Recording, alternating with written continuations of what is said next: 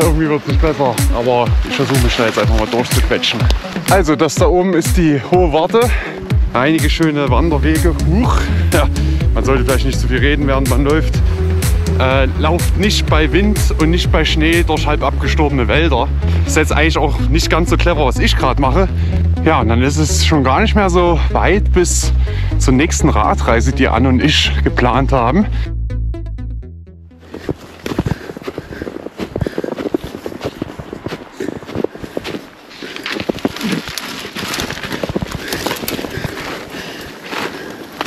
Als Omi noch nicht mal drei Minuten unterwegs und schon im Dickicht gelandet.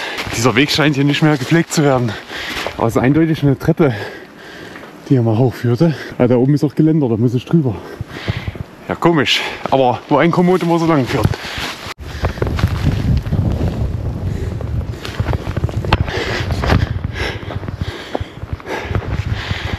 So, und damit hallo. Von einem sehr verschneiten Tag. Ich bin gerade hier in Elgersburg. Das da oben ist die Elgersburg. Und ich wollte mal eine kleine Wanderung machen. Eigentlich hatte ich vor, mit dem Rad zu fahren, aber ihr seht ja, sind nicht gerade optimale Bedingungen. Deswegen dachte ich, mache ich heute eine kleine Runde, etwa 10 Kilometer, über ein paar Trails, über ein paar ungeplante Trails und werde mal so ein bisschen was erzählen, was die letzten Wochen bei uns los war, was kommen wird. Also kleines Vlog mit einem großen Wanderanteil. Viel Spaß!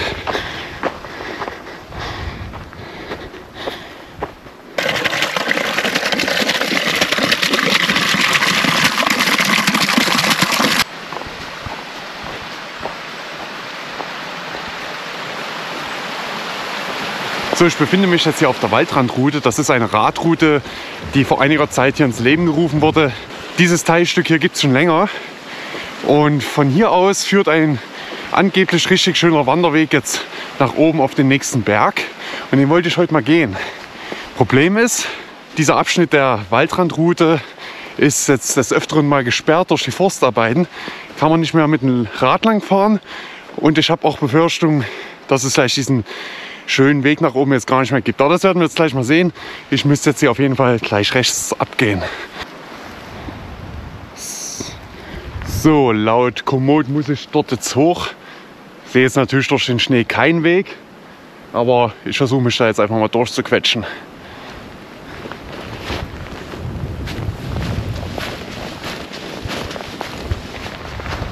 Na, ein paar Spuren sieht man doch hier, ist doch schon mal ein gutes Zeichen.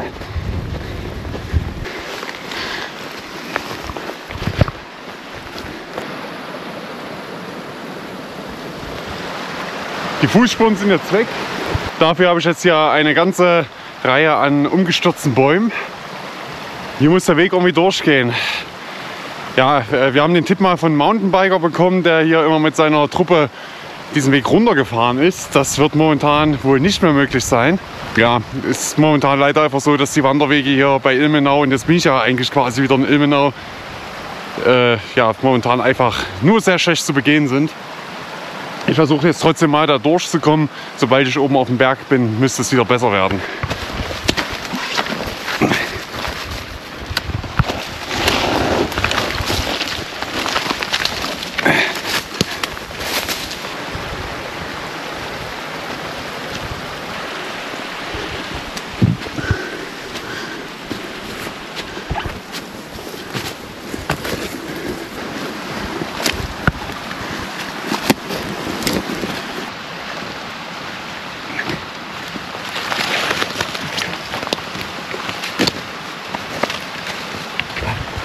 Irgendwie wird es nicht besser. Aber gut, wir haben es glaube ich bald geschafft. Da vorne sieht es schon wieder ein bisschen besser aus.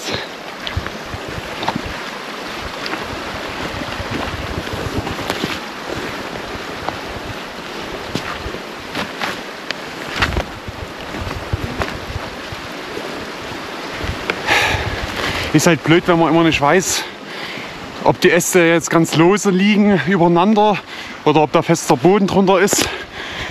Wenn der Schnee da drüber liegt, sieht man das einfach nicht mehr.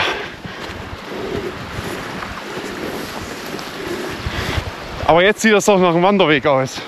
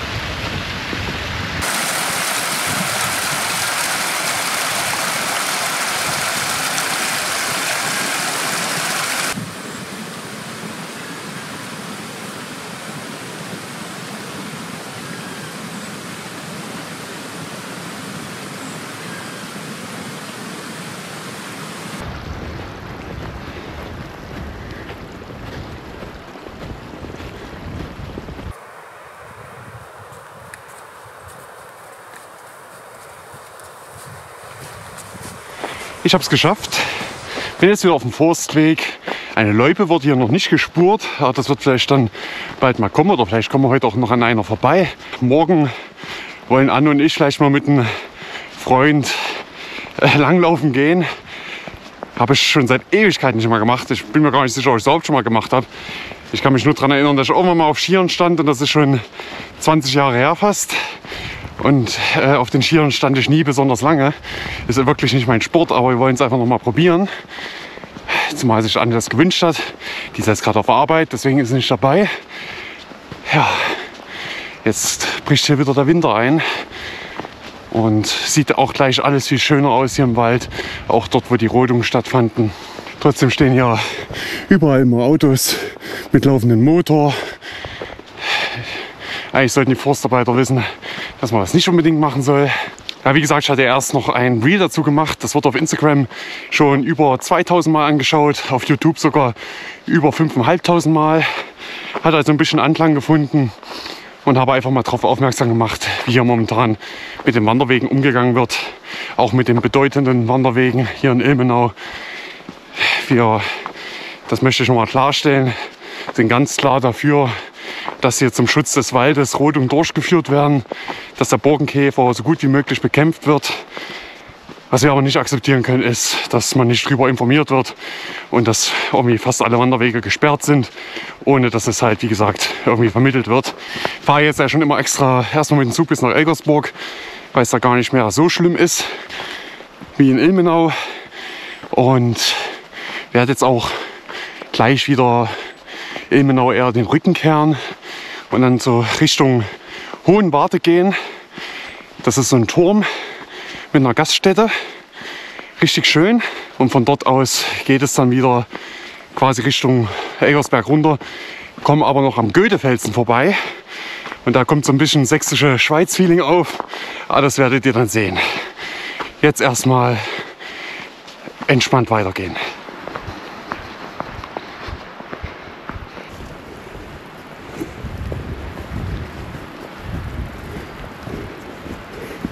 So, das da ist das Schiffenhaus hinter mir. Ähm, war mal eine ehemalige Gaststätte. Der Betrieb wurde aber eingestellt.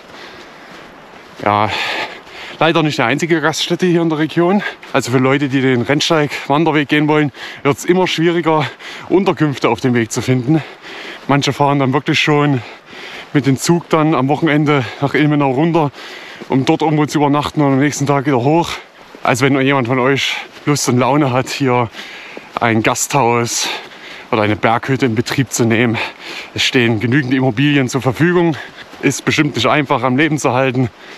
Aber vielleicht brauchst du auch einfach etwas mehr Geschick als von den Leuten, die es bisher gemacht haben.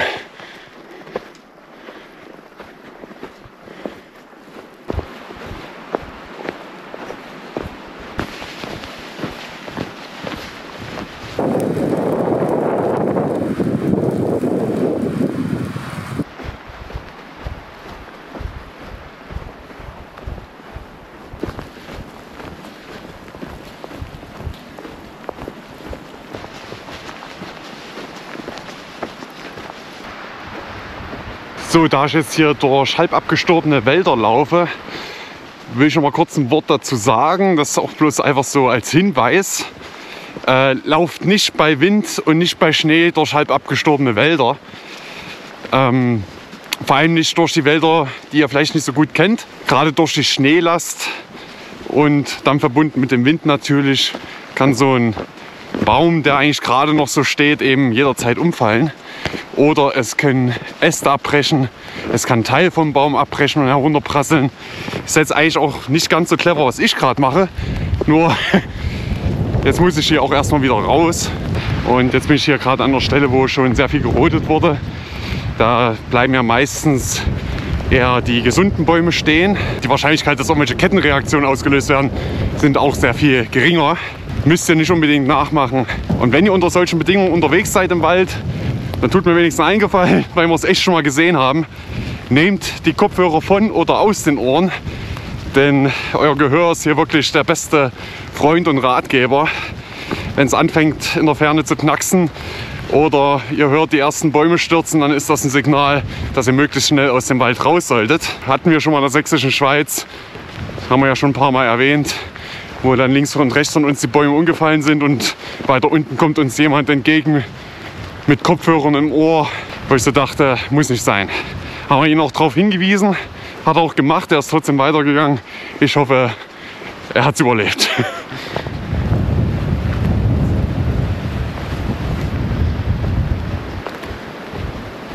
So, das ist ja eine Schutzhütte, na wohl Schutzhütte ist übertrieben. Das ist ein Pavillon auf dem sogenannten Wolfstein. Das ist ein kleiner Felsen, jetzt hier mitten im Wald.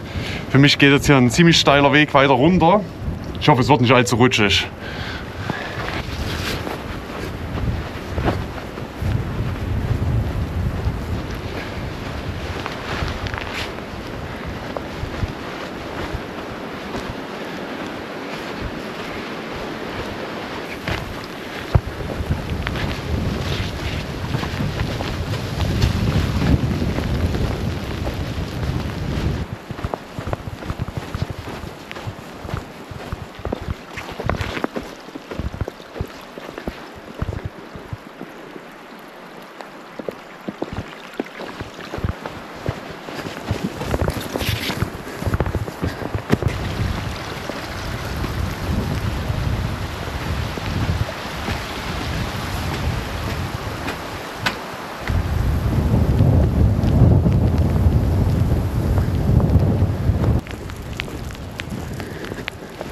Gehe jetzt einen ehemaligen, keine Ahnung, vielleicht auch nicht ehemaligen Skihang hoch. Zumindest gibt es den Lift hier noch.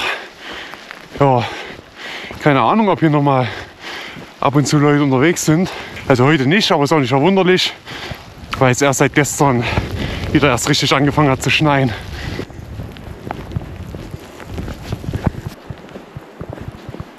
So, jetzt geht es erstmal etwas gemütlich weiter auf einen etwas breiteren Forstweg. Ich hatte ja vorhin von dem Rear erzählt, was ziemlich oft angeschaut wurde.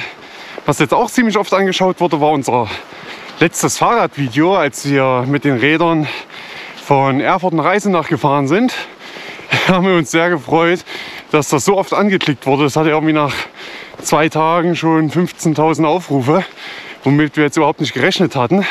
Aber ich muss auch sagen, ähm, es hatte ja erst auch schon so eine ganz gute Klickzahl und hat auch für viele neue Abonnenten und Abonnentinnen gesorgt. Äh, dahingehend ein Hallo an alle Neuen unter euch. Am nächsten Tag, auf einmal 13 Uhr ging das los, hat das Video 300 Klicks in der Stunde, 400, 500, abends waren es dann über 1200 pro Stunde. Und unsere durchschnittliche Wiedergabedauer auf diesem Video ging so auf etwa 15 Prozent runter. Und wir haben jetzt mal geschaut, wie das eigentlich zustande kam. Und ja, anscheinend irgendwie sind die Leute von einer externen Seite auf dieses Video gekommen. Und äh, angeblich über eine Google-Suche. Können uns das nicht ganz erklären, was das war. Falls jemand von euch irgendwie über eine externe Seite auf dieses Video gekommen ist und jetzt auch zufällig dieses Video sieht, dann schreibt uns doch mal bitte, wo ihr dieses Video gefunden habt. Es würde uns einfach mal sehr interessieren, denn wir können es uns nicht ganz erklären. Ja, wir freuen uns natürlich über die Klicks, aber Klicks sind natürlich auch nicht alles. Von daher spielen wir das jetzt auch nicht so hoch. Aber interessant wäre es dennoch mal.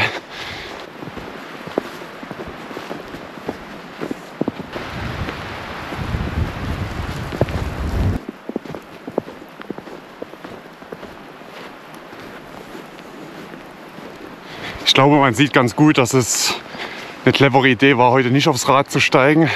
Denn all die schönen Touren, die ich jetzt mal geplant hatte, würden mich immer bis auf mindestens 800 Meter hinaufführen. Ich bin jetzt hier bei, ich glaube, 630 Höhenmeter oder so. Und hier wäre schon wirklich nur noch sehr, sehr schwierig. Auch mit dem breiten Reifen. Das ist halt wirklich so richtig feiner Pulverschnee. Gut, ich habe heute auch keine Wanderschuhe an, sondern nur Trailrunning-Schuhe, aber trotzdem, ähm, die haben ja auch ordentlich Profil. Ich hoffe, dass wir trotzdem die eine oder andere Tour in nächster Zeit machen können. Müssen wir halt eher in den unteren Gefilden bleiben. Aber wenn es halt nicht geht, dann geht es halt nicht. Und jetzt hier so Winterwanderungen sind ja auch was Feines.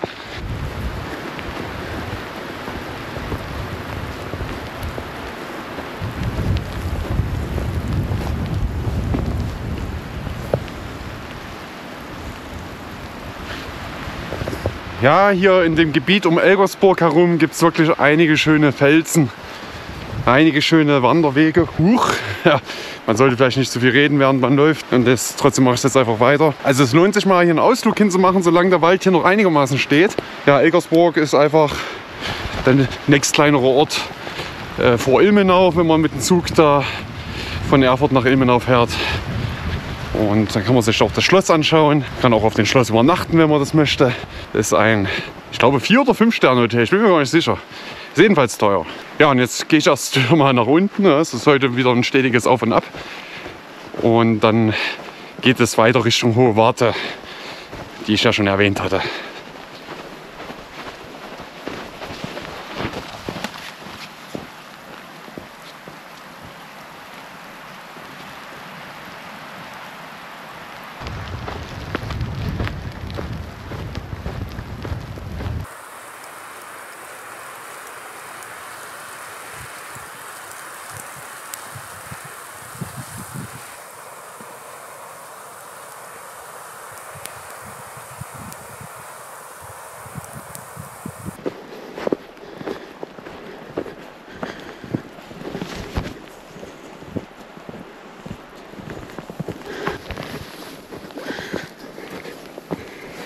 Also wenn ihr dieses Video seht, wird es ja wahrscheinlich schon Ende Januar sein. Ja, und dann ist es schon gar nicht mehr so weit bis zur nächsten Radreise, die Anne und ich geplant haben. Im März geht's los. Wir werden drei Wochen unterwegs sein. Wir haben auch schon die Zugtickets gebucht. Das ist immer besonders wichtig, wenn man die Räder dabei hat, schon mal die Züge zu buchen, dass man dann auch das Fahrrad mit reinnehmen kann. Gerade ein ICE, das wisst ihr ja vielleicht, hatte nicht besonders viele Stellplätze für Fahrräder. Von daher sind wir froh, dass das schon mal erledigt ist. Haben jetzt auch gar nicht so viel Geld dafür ausgegeben. Wenn man sich immer früh genug darum kümmert, geht's ja. Und wir fahren vor allem in der Woche hin und zurück jeweils. Das ist auch dann auf jeden Fall schon mal günstiger. Wir haben ja schon mal gesagt, dass es Richtung Süden gehen wird. Und aber wahrscheinlich nicht so weit in den Süden, dass es schon richtig bockisch warm sein wird.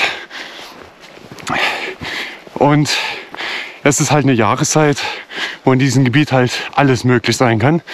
Es kann warm sein, es kann aber auch noch Schnee liegen, man weiß es nicht. Dementsprechend werden wir uns Räder ein bisschen darauf vorbereiten und dann wird das bestimmt eine spannende Sache. Und da sind bestimmt ein paar Routen dabei, die es hier auf YouTube noch nicht so oft gab. Freuen wir uns schon riesig drauf und wir hoffen, dass der Film dazu dann auch richtig gut wird, damit ihr euch wieder was Tolles liefern können. Aber wir haben jetzt zum ersten Mal in diesem Urlaub auch vor, dann wirklich mal ein paar Tage oder vielleicht so eine Woche mal die Kameras und alle Geräte abzuschalten. Deswegen wird wohl die eigentliche Radreise nur zwei Wochen lang werden. Aber das ist ja auch vollkommen ausreichend erstmal.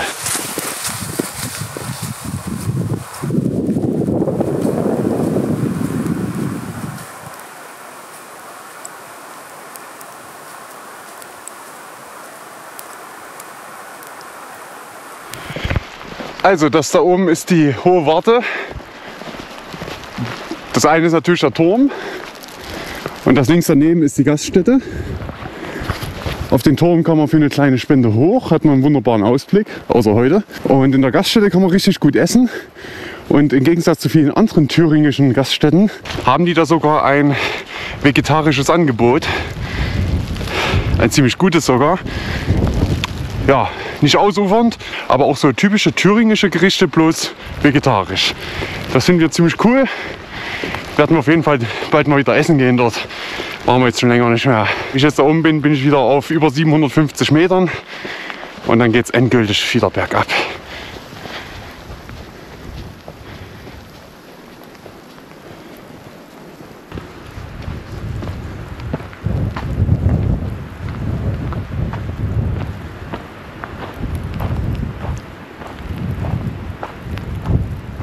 So, tschüss, hohe Warte. War jetzt nur ein kurzer Besuch, aber die Gaststätte hatte jetzt eh zu. Hätte ich mich also eh nicht reinsetzen können. Macht nichts. Wollte ich eigentlich sowieso nicht machen. Jetzt geht es wieder runter zum Bahnhof von Elgersburg. Aber vorher gibt es noch ein kleines Highlight. Unten im Tal dann.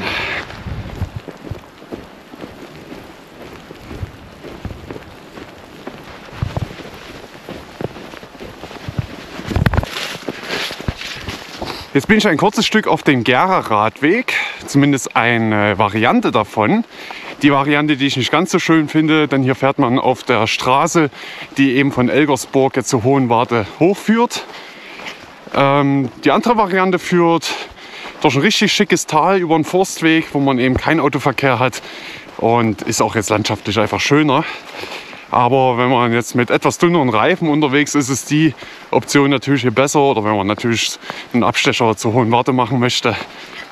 Aber wenig später muss man sowieso auf Schotter fahren. Von daher macht das jetzt nicht den großen Unterschied. Den Gera-Radweg kennt ihr ja schon ein bisschen vielleicht, wenn ihr unsere Videos gesehen habt. Im letzten Video sind wir ja den von Erfurt bis zur Mündung in die Unstrut gefahren. Und den gesamten Radweg werden wir euch definitiv, wenn das Wetter wieder etwas wärmer ist, ähm, auch noch mal genauer vorstellen.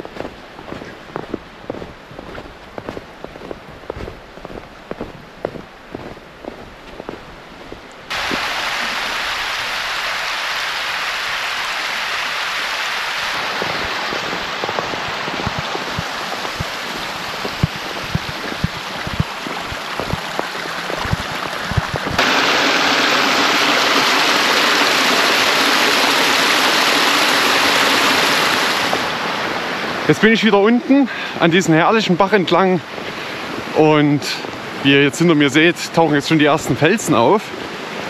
Das ist jetzt direkt schon bei Elgersburg und weiter vorne kann man jetzt auch ein Stück hoch wieder und oberhalb der Felsen langlaufen. Das machen wir jetzt noch.